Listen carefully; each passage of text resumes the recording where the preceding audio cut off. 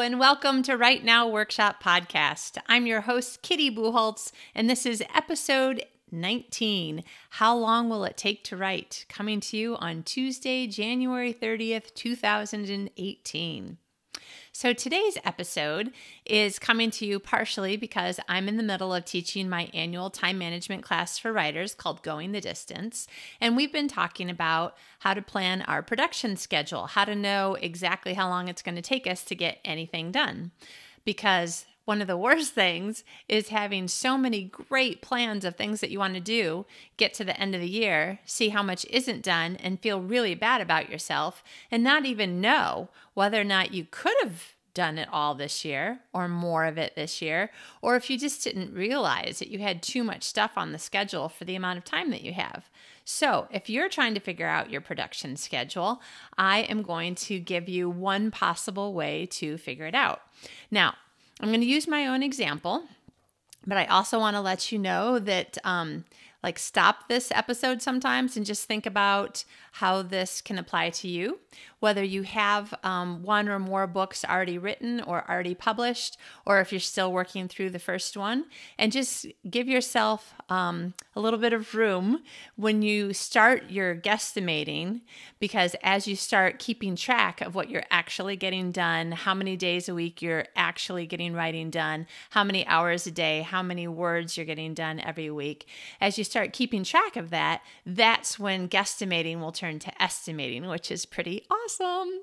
Okay, so I'm going to use a little bit of guesstimating because I'm going to try something new this year, but mostly this is going to be estimating. So, for instance, this year, um, the first book that I'm going to work on is the next book in the Strays of Loon Lake series. So, Love at the Fluff and Fold came out to about 75,000 words. And I like all the books in my series to be approximately the same length for the regular books. I often like to write novellas and short stories and novelettes, which is what I call short stories because really not very many people use that word.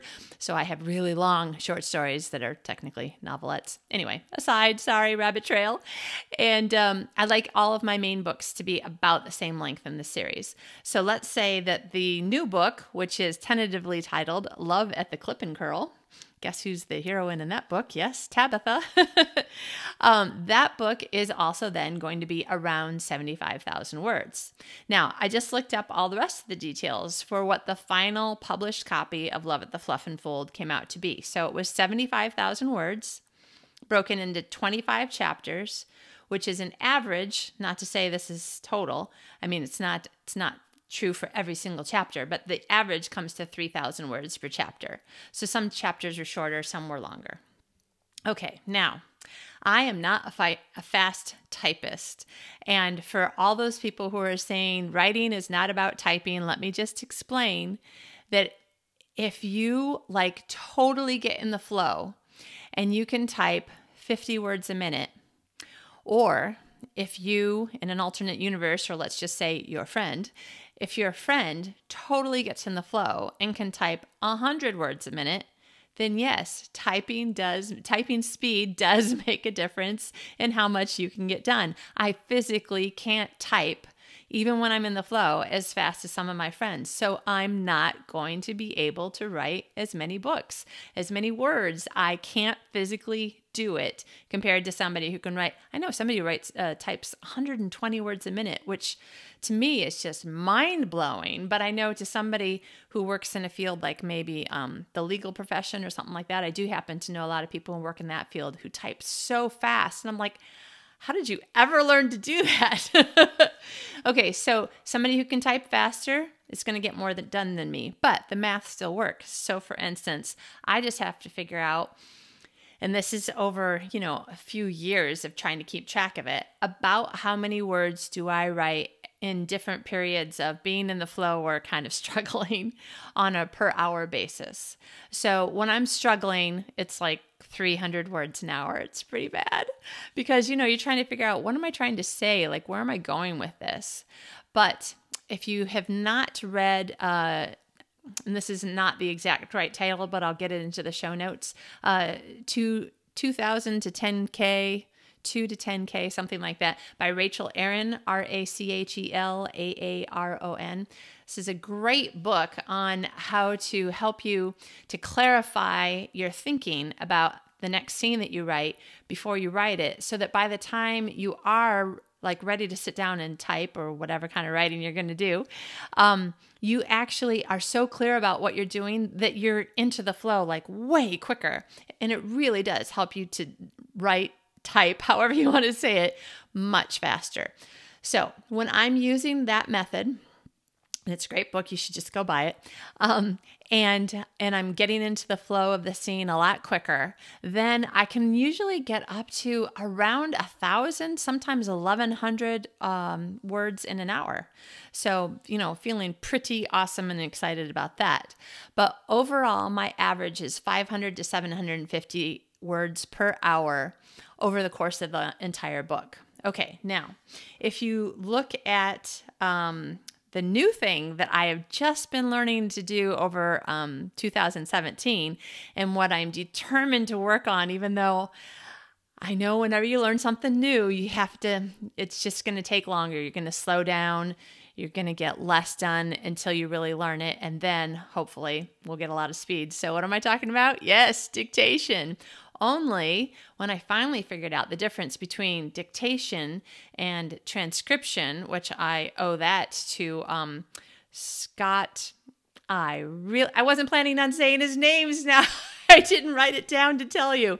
I will put a link to Scott's. Uh, it's the School of Training Your Dragon or something like that. Anyway, so I'm in this great class by Scott, uh, um, who has created a class for novelists who want to learn to use um, Dragon Naturally Speaking for PC or Dragon Dictate for Mac to learn to dictate and or transcribe their book that was the first time that I really understood the difference between dictation and transcription. This is just my explanation of it. Dictation is me using the speaker on my computer and speaking what I'm trying to say as it types along with me. Now, the problem with that is I can't keep my eyes from watching it. And then I get kind of stuck on what it's typing versus what I'm saying. And sometimes it's, you know, four or five or 10 words behind me. And then I just lose my train of thought and I get really frustrated and I just quit.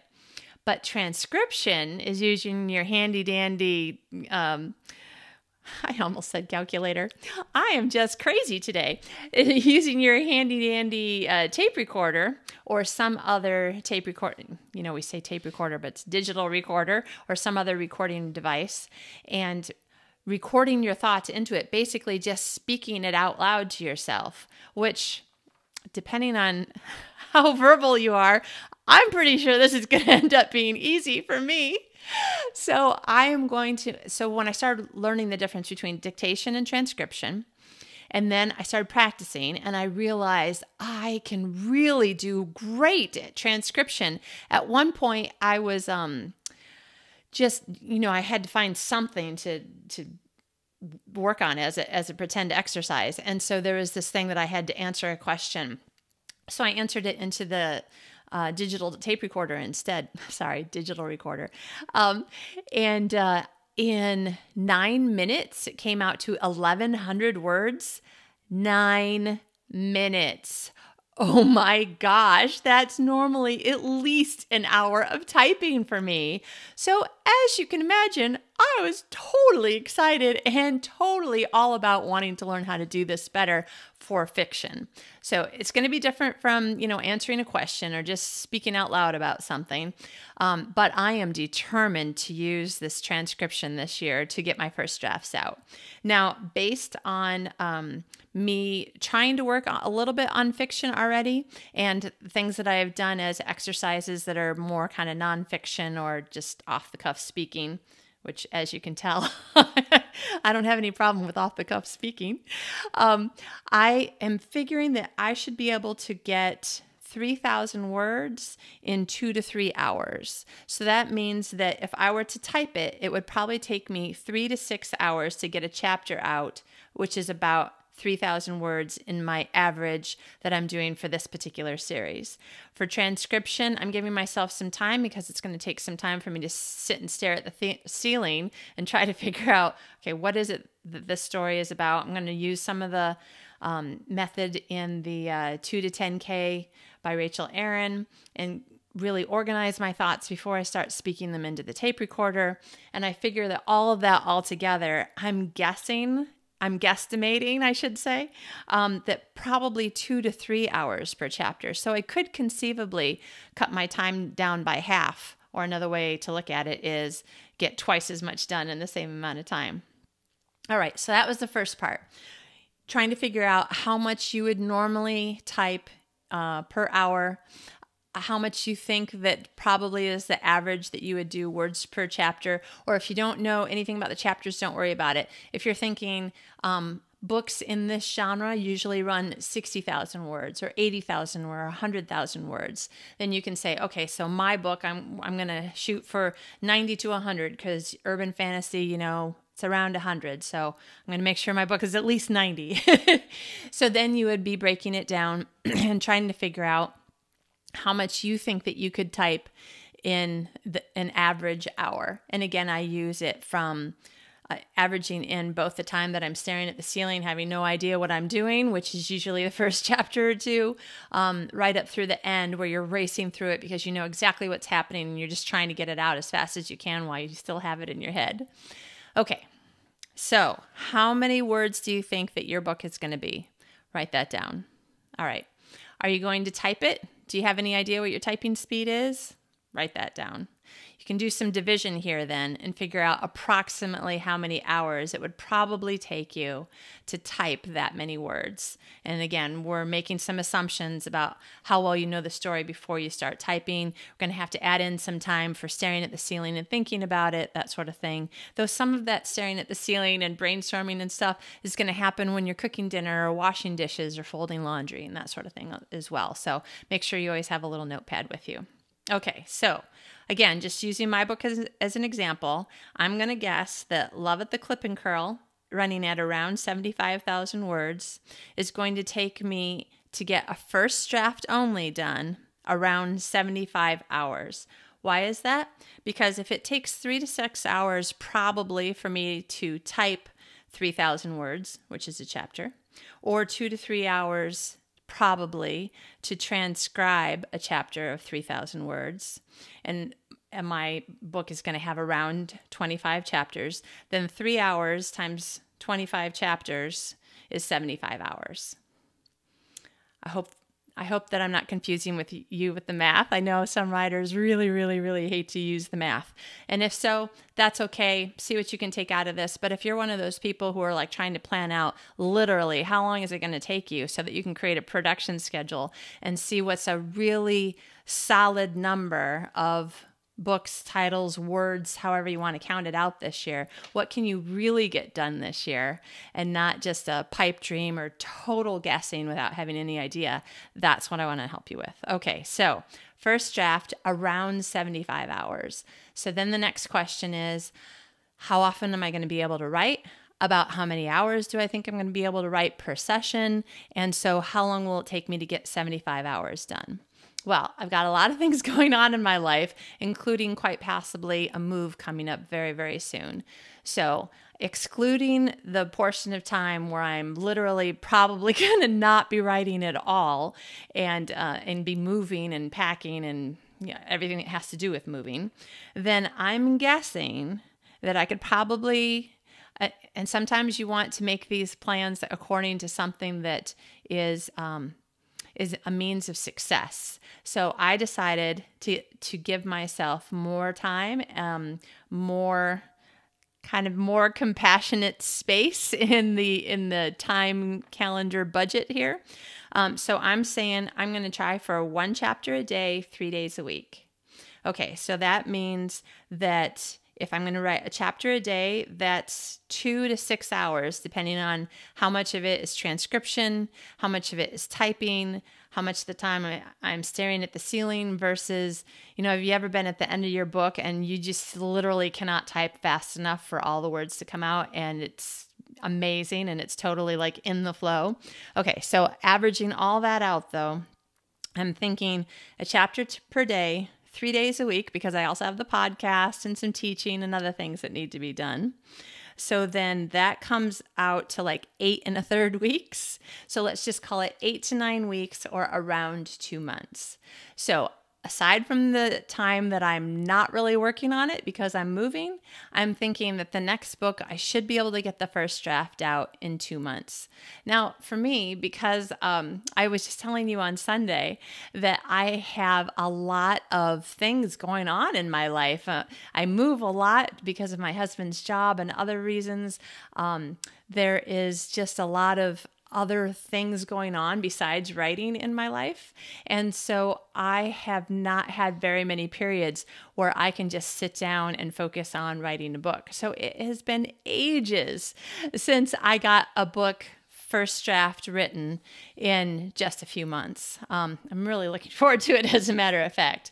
But I'm also trying to give myself some grace here, some room, some wiggle room for if I forget that there are things that always come up when I'm writing a first draft. And I just can't remember because, you know, it's been ages since I worked on the last first draft. So think about all these different factors when you're trying to figure out what your um, amount of time is that you think it'll take you for your next first draft. Um, you, if you've never written one before, then I would say just start out by deciding how often you can try to write and for how many hours or minutes or whatever. Um, or start by saying, I'm going to write 300 words a day or 500 words a day or something like that. 500 words a day is only two double spaced pages, so that's kind of good to know. Um, so, whatever it is, however you want to go about trying to figure out your schedule, there's going to be um, a portion of time that you just need to, to keep track of it. Then you'll have something where the guessing becomes guesstimating. And then the more you get done, the guesstimating becomes actual estimating. So I am estimating because I have the math in front of me, but also slightly guesstimating this two month period because I may not remember other things that come up during the process that you know slow me down or whatever. Or maybe something will come up that i'll be like holy cow that really speeded things up. Do i remember this happening before? And again remember i told you about the done journal? Um, you know taking one of those blank books or blank journals that you've got laying around or if not going and finding one. And keeping track of what you do every day having to do with your writing or your writing business. So I'll help you with the IRS to prove that it's not a hobby. Um, it'll also help you to know how long it takes you to get things done. How many hours does it take you to you know, write a first draft, work on an outline. How many hours do you brainstorm an outline before you start writing page one? This is very, very good information because you don't want to forget that piece. Or you might think, oh, if I write, you know, a first draft in two months, I can write six first drafts in a year. Mm, maybe, Probably not, because don't you need to use some of that time to do some brainstorming? You know, depending on whether you're a, plotter or a pantser, you know, maybe you're going to do some plotting and some outlining. Um, you might be doing some research. Um, plus, just things come up in life. You know, you have family vacations and um, holidays and all sorts of reasons. So, you need to be careful when looking at the numbers that you're not overestimating and then kind of not really setting yourself up for failure, but setting yourself up for disappointment. You don't want to be disappointed at the end of every year. That's what my class is about, is helping you to figure out what can I actually get done. And sometimes you want to give yourself some grace and pad your calendar a little bit so that you can be sure that you're going to give yourself a goal that has success in it. So, for instance, I might tell myself, okay, the math says I should be able to finish Love at the Clip and Curl in about two months. I'm going to give myself three because I want to make sure that I feel like I was a success. And if I finish early, thank you, God. but also sometimes you're in a place where you're like, you know what, I've been doing really well, but I've also been kind of screwing around a little bit. What if I worked just a little bit harder and I'm going to close that gap? I'm going to bring it down. And, it, you know, the math says 8.3 weeks. So let's make it eight weeks. Let's say, come on, really, let's get this thing done. And, um, and what you want to do in that case, the, the point of it, your focus is to get it done, but to also push yourself. So usually you're in one of two places. You're in a place where you feel confident and you want to push yourself, or you're in a place where what you really need to do is make sure you're giving yourself a success and you want to cushion that time, pad that time a little bit. I hope this has helped you. I'm excited because now, because of you, I already have sort of a rough idea of when um, Love at the Clip and Curl will be done. Very excited. My readers will be happy. And, uh, you know, talking about writing always, doesn't it always make you happy and make you go, okay, now I just really need to stop listening to this podcast and get to it? Because that's how I feel when I'm listening to writing podcasts or talking to writing friends or having my accountability call with a couple of my other um, we call ourselves the Fab Four, uh, with three other writing friends. So whatever it does, whatever it takes for you to feel excited about your writing, and if the math is making you a little seasick, don't worry about the math. Think about the concepts behind it and give yourself some idea of when do you think that you might be able to finish this rough draft. If you've been working on the same book for 10 years, let's make a plan that you're going to finish it by the end of the year. I've got a client that that's what we're working on. And in fact, she started getting excited enough about how things are finally beginning to come together because we're having weekly accountability calls where she tells me her goal. And then the next week, she tells me whether or not she met it. I help her to make reasonable goals that she can meet. Uh, she's doing more writing a lot of times within a few hours of our call because she's like, I'm going to have a call and she's going to ask me what I got done. If you can find somebody like that in your life, do it. It will energize you, it'll help you to get more done. And that sense of accomplishment every week, or even if you only accomplish your goals two weeks out of four, I mean, think of how much better it'll make you feel. And also, if you know that you're setting goals that you will reach, you will succeed, that will make you feel even better than the idea of uh, hoping that you'll get seven books out this this year this month. I'm crazy. and remember, if you're listening to this on iTunes or watching on the YouTube channel, you can hit the subscribe button if you hadn't, if you haven't already, and you'll be notified every time there's a new episode. And also, it would be awesome if you left me a review in iTunes. Um, it helps other people to know if this is the kind of show that would help them. And also, if this is helping you, please tell your friends, the friends that you think that listening to this would also help them. I really, really, really, that's why I'm doing this. Um, you know, I, it's not a money making proposition for me. I'm not doing it uh, to be famous or anything. I really want to help people. So if you know some other people that you think that these uh, Write Now Workshop podcast episodes can help, please let them know. I hope this has helped. I'm excited. I can't wait to talk to you about what your writing is is doing next week. So um, have a great week. Happy writing. Get to it. I'll stop talking and uh, get ready for the interview on Thursday. It is going to be a fun one. All right. Have a good one. Go write.